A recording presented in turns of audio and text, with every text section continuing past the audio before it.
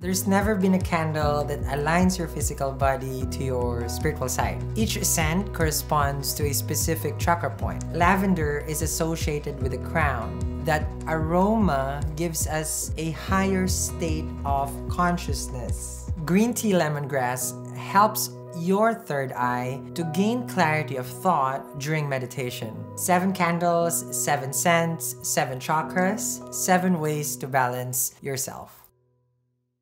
Hi Leos, um, this is your tarot after dark. Make sure make sure you watch the whole reading all the way to the end because there is an extended preview. In the preview, you will see how mystical magical this kind of reading is because it just resonates to the T with what we're trying to address. Okay? So watch the YouTube reading, check out the preview, and then follow me in extended. I'll see you there. Hi Leos, welcome to my channel. We're doing your tarot after dark. It is dark and it's tarot after dark. It's not for everyone. It's not a dreamy reading. Um, we dive deeper to probably some things that we avoid in a connection. Um, so I'm giving you already a heads up. It is not gonna be a reading of rainbows and butterflies so let's see what's going on for the Leos. This is your tarot after dark. Um, so, okay, we're there. Hmm, there's two cards. Eight of Swords with the Page of Pentacles. Too scared to see things through. You're paranoid right now with everything surrounding love. It feels like the Eight of Swords, you always get surprised. The person or the situation that you're dealing with always has something like, well, I didn't know. I didn't see that coming. Well, you should have told me.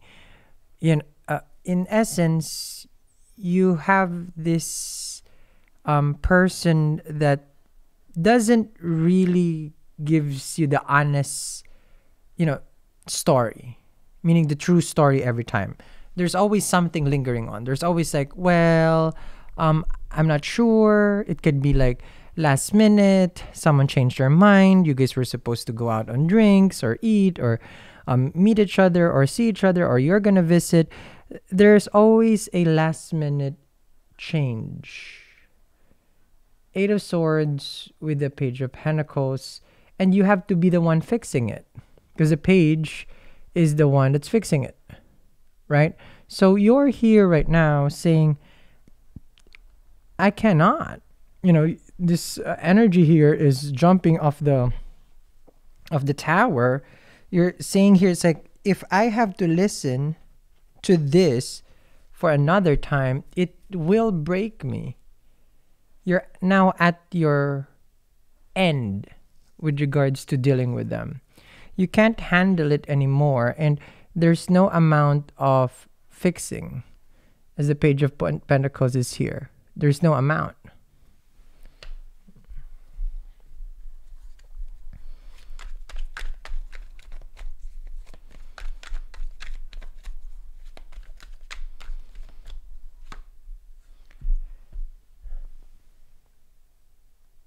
I was gonna say, oh, maybe it's their card or it's your card, but I now I really feel that it is their card. They're frightened and they're scared because you're not fixing it anymore. You're not picking up after their mess. That's a nine of swords. You're just saying here that I can't, and then on their end now it's like what do I do? They're regretting their actions. And of course, asking for your patience. It feels like the person has a childlike energy where they keep doing the same old thing and you're the one mothering them. You're the one fixing it. And then now here it is Nine of Swords asking for you. It's like, meet me halfway. Don't turn me down. Don't give up on us. Temperance is the you know the part where they're thinking, I wonder if the Leo will work it out with them. That's a Sag. Could be connecting with a long distance relationship. So it's quite messy.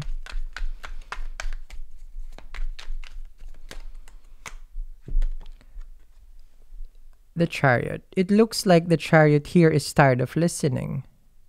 You put this helmet on, it says like, I just want to ignore this situation right now.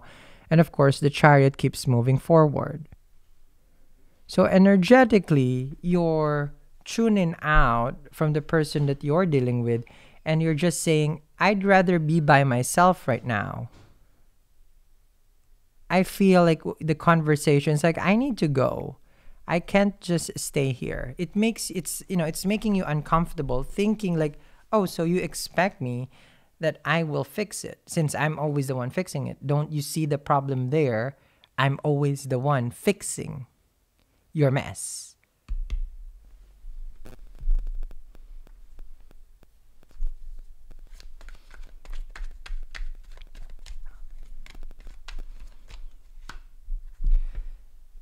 Nine of Pentacles on their side. So this person has a tendency to be like, oh, I don't know what they did. I don't know, you know, I, I, I wasn't sure. I just did this.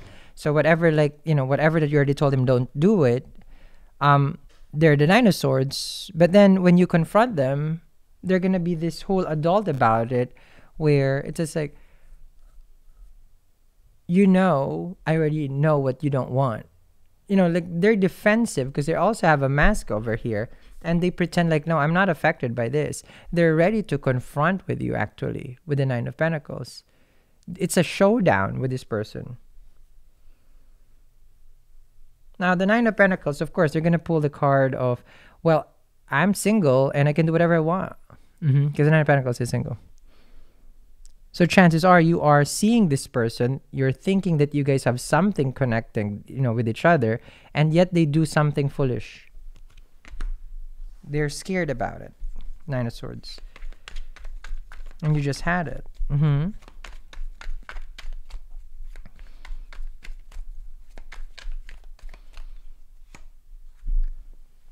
Mothering the Five of Cups. So this is where your energy, your approach towards them. I told you so. You never listened to me. How many times do I have to tell you this? Don't do that. Don't do this. And then look at the energy of the person that you're dealing with. You know, for them, you're nagging. For them, you're like, oh, so here we go again. It's about you. Here we go again. You're not, you know, I'm the one who's not listening. It's a blame game between the two of you here and I don't side with anyone, you know. I don't even know what was the problem in the first place. I feel like it's a communication problem between the two of you. I see that the two of you are, you know, at each other like throat basically. Mhm. The person is claiming that they're always walking on thin ice. There's a lot of things that they can't. There's a lot of things. I can't do this, I can't do that. Don't do this, don't do that because either you're gonna get upset and you're gonna you know you're gonna throw a fit about it because that's what they're saying here with the um with the five of cups. So for them they're saying it's like i'm i'm left with nothing to do you know?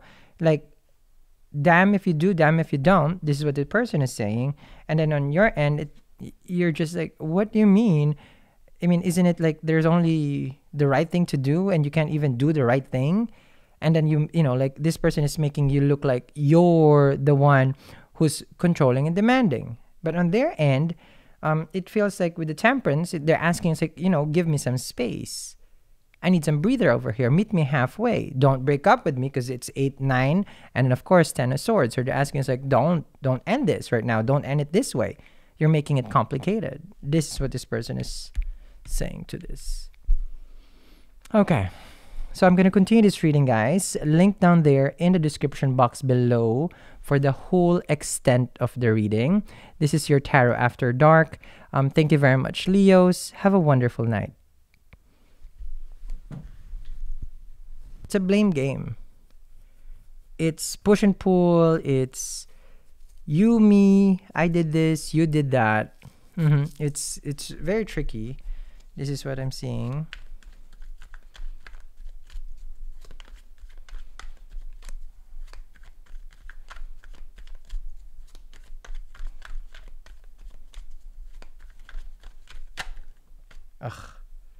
And what did I say?